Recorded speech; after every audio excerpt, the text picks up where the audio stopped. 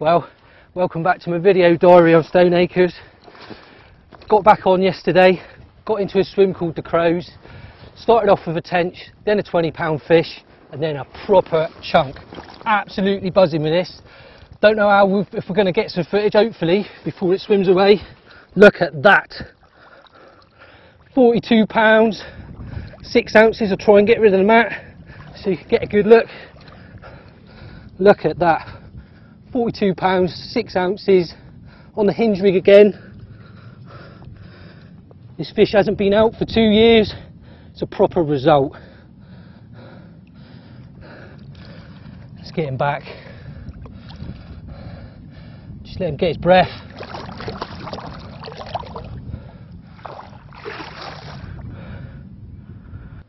Well, had that immense moment yesterday when we had that 42 pound fish. Absolutely buzzing. I watched a little bit of footage back. I was probably too excited to do that little bit of footage. Uh, I, you know, I'm sorry if uh, I seemed a bit keen, uh, but I was absolutely made up with that fish. He's a really rare visitor to the bank. But got that rod back out last night on a clip, uh, putting the, the, the line and the lead around me two sticks so I can get that rod back out into the middle of the lake exactly on the same spot obviously got it right because this morning I've woke up to that rod going away again, line going through the buzzer, and it's this fish, 24 pound common. Just got all the pictures done now, so we'll slip this one back. Fish still out there, could be on for a good session.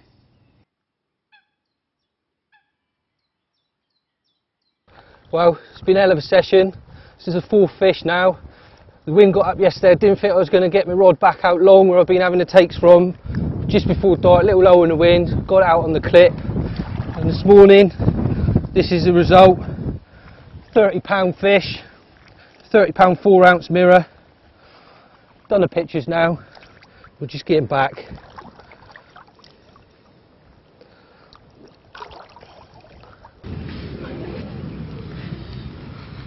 Well, come back up onto Stone Acres this week.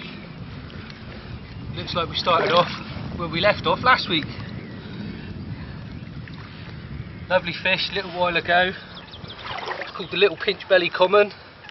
31 pounds, 1 ounces. White Newgrange pop up. Out of distance again. Uh, different rod though the last week. This one's out near the island. Uh, a few fish were just showing there this morning. And then this one's gone off. Had to go out and land it from the boat. But we've got him in. Got some pictures done. Just let him go now. So I think he's got it.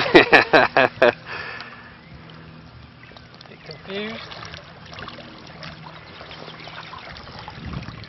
You weren't ready to go, was you? You thought you was ready, but you weren't ready.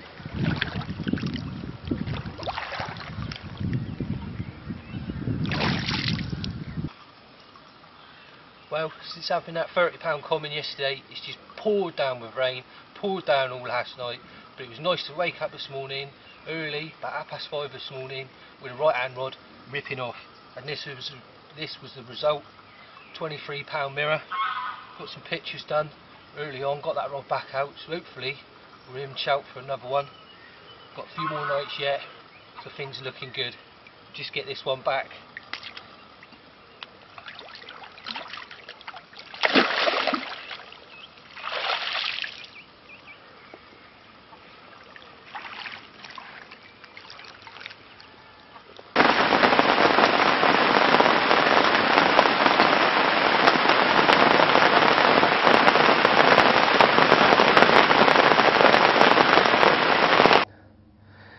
Here we go, another one for the video diary. Been hoping to tell you a little bit more about what's been going on, but it's been absolutely pouring down with rain. Not been able to get out of the bivvy too much, certainly not wanted to uh, set up an expensive camera out in the rain. Um, but this morning, stopped raining and uh, been able to show you this one. Another common from Stoneacre, lovely dark looking fish. 31 pounds, 10 ounces this one. A um, few sort of commons looking in, uh, in this lake that look like this. Uh, I'm having a job to identify a few of them to be honest. I've got this little pinch belly um, and it's trying to work out which one is which. I think I might have repeated on one of them. Um, but really pleased to get another fish, third fish for the session, fourth morning of the session uh, of a seven night session that I'll tell you a little bit more about in a minute. But now, just get this one back in the water.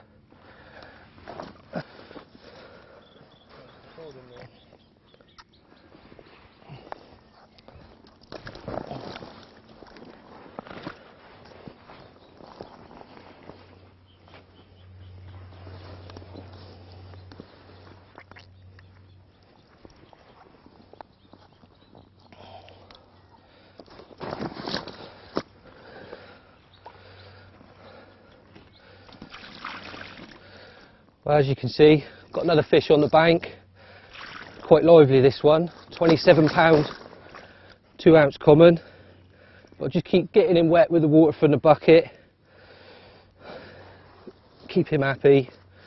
Fought really, really well this one, so I'm not surprised he's trying to beast me now on the bank. Managed to go through two of the other rods. I was out in a boat having to lift rods over my head and things like that. there you go. Another lovely fish from Stoneacre. Like I say, 27 pounds, two ounces. Another dark common. It's a male fish. It's covered in uh, like a turquoise coloured uh, spawning molecules all down its scales, down its gill plate. So really happy with this. The session's going really well. Just want one of them big mirrors to be hit the net now. Well, it's turning into a bit of an hectic day really. Started off with a tench, then a common, and then this one, all from the same spot. This one's 25 pounds, six ounces. Fifth fish of the session. So everything's going really well, apart from we really want to see one of those big ones now. But now I can't complain, I'm catching some lovely fish and really enjoying the session.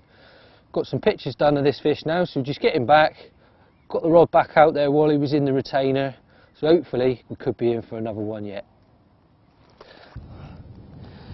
Well, last full day of the session today, and uh, things are still going well. Had this one earlier on, 27 pounds, 14 ounces. Like all the fish that I've had this session, uh, on the ever faithful hinge rig with a white Newgrange pop-up, and I'm fishing over quite a lot of Newgrange boilies. Those Newgrange boilies just seem to get better and better and better the longer they're in the water. They react in water, everything starts working within the bait, and the fish just seem to get on it and keep coming back. I've been really lucky this week to get back into the swim that I had four fish from last session, keep the spots going with bait, and the fish are still coming. Trouble is, Crows is a popular swim, it's a good swim, so better enjoy this while it lasts because uh, this sort of action might be short-lived and might not be able to get back in the swim. But for now, we'll just let this one catch his breath.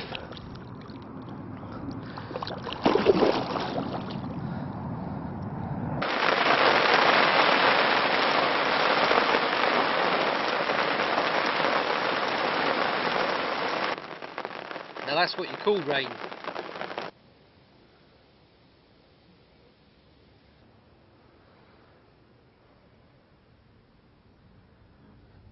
Well, come back onto Stone Acres this week, and as I suspected, the, the swim that uh, I've had 10 fish from in the last two sessions uh, is taken. Not surprised, can't blame anybody for getting in there. If the fish are there, everybody pays the money, you've got to fish for them. Uh, but because I had a good idea that that might happen, uh, I've sort of moved on to a little bit of a plan that I've been thinking about, um, where I've come into a swim now that uh, I think is in a good area for a couple of the big ones going on their past captures. Uh, and I've decided to fish quite a long way out uh, past a lot of anglers range just so that I can keep baiting uh, two spots. I'm only going to fish two rods um, and just keep the bait going in. And if anybody does come in here behind me or when I'm not on the lake uh, they shouldn't really be able to reach the two spots that I'm fishing uh, and interfere with it, with what I'm trying to achieve. Um, so yeah, coming into this swim yesterday, uh, I'm not sure how it's going to go. It's not really my style of angling, sitting in one swim. Uh, I usually get itchy feet after a couple of days of not much happening and I want to move around the lake. But I think the time's come where I've got to try and stick with it now. Uh, landed a good number of fish from this lake now over the last few seasons, uh, but no big one. So we got to try something else, I think. Um, so anyway, plan is, is two rods, two spots. They're going to be quite long, uh, which is one of the reasons I'm only using two rods because I don't want to like pick up a tench or something on one and it wipe out the other one. Uh, if the wind gets up, it's going to be hard to get these rods out there. So with two rods, uh, I've got less uh, things that I need to do, less to worry about. I'm not going to make so much disturbance. I'll get the rods out quicker uh, and just keep the bait going in on those spots. That's the plan. It's hit a bit of a hitch already. Um, got the rods out yesterday uh, and the right hand rod, which is on the windward uh, side of the two, uh, has been wiped out by drifting weed three or four times now already and I'm having to pull it back out on the clip. Um, I've woken up this morning, both bobbins have sort of pulled up tight through the night. I suspect they got bits of weed on them. There's some weed beds in front of me now that weren't there last night that have drifted down the lake. So I think the swim needs a bit of work. Uh, I'm going to go out in the boat today, probably wrench all my chances of catching this session uh, by removing as much of the weed as I can um, and we'll just see if this plan sort of comes to anything. Hopefully it will, uh, but don't be surprised if I turn the camera on next time and I'm moving around the lake again. Uh, but that's the plan and we'll see how it goes.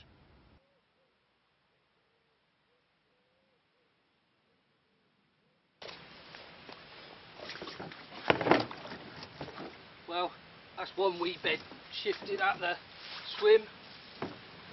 Just a few more to go. This is all the type of thing that's drifting around the lake all the time. And at this time of year, it's an absolute nightmare. Comes through, drifts into your lines, pulls them out of position, and you're forever having to recast. But one of the things that you've got to put up with on Stonies, if you want these fish, uh, you certainly got to work for them. Right, that's that lot cleared. I'll go out now and get the rest of them.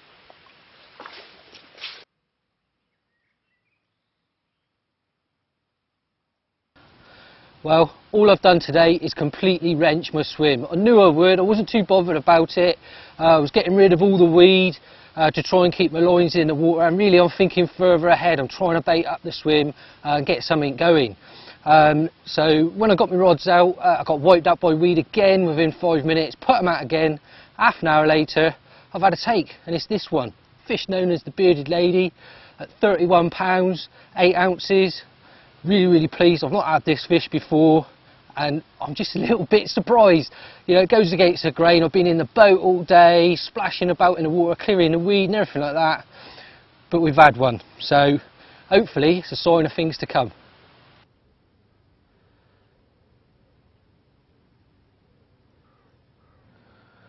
well another session comes to a close just part way through packing away now and as you can see the weed that started about this high has grown and grown and grown.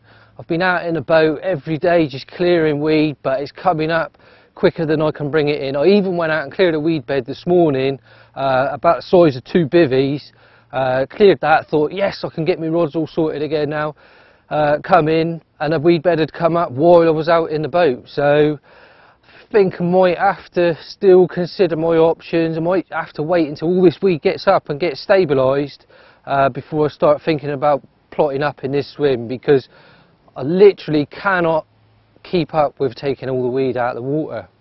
Um, but on a positive note, one of the two big ones, uh, Bite Mark, has been out at a very good weight. It's not been out for a little while, uh, so it's nice to know that he's fit, healthy, uh, and swimming about out in the lake.